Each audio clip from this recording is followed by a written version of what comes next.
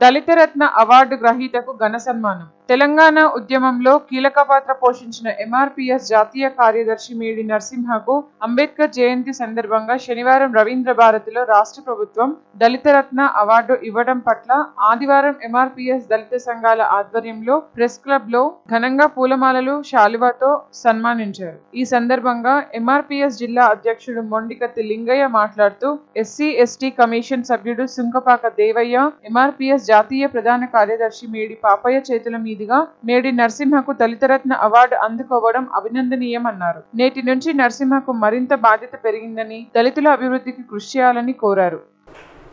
మేడి నరసింహ మాదిగా రాష్ట్ర ప్రధాన కార్యదర్శి గారికి దళితరత్న అవార్డు ఇవ్వడం జరిగింది. సుంకపాక దేవయ్య మాదిగ గారు SC ST commission member MRPS జాతీయ ప్రధాన కార్యదర్శి మేడి పాపయ్య గారు గారిన చేతుల మీదుగా అవార్డు ఇవ్వడం జరిగింది.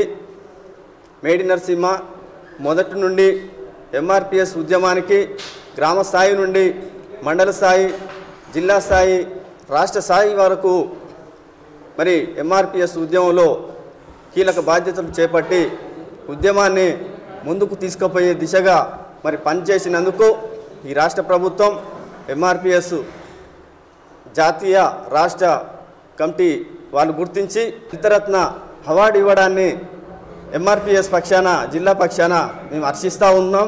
అవార్డు గ్రహీత మేడి నరసింహ మాట్లాడుతూ తనకు అవార్డు రావడంలో సహకరించిన మంత్రి Guntakandla Jagadishwar Reddy SC ST commission సభ్యులకు ఎంఆర్పిఎస్ నాయకులకు కృతజ్ఞతలు తెలిపారు. ఈ సమావేశంలో లింగాల పెద్దన్న మాదిగ కత్తుల తులసీదాస్ మాదిగ మేడి శంకర్ తరాల రమేష్ తదితరులు పాల్గొన్నారు.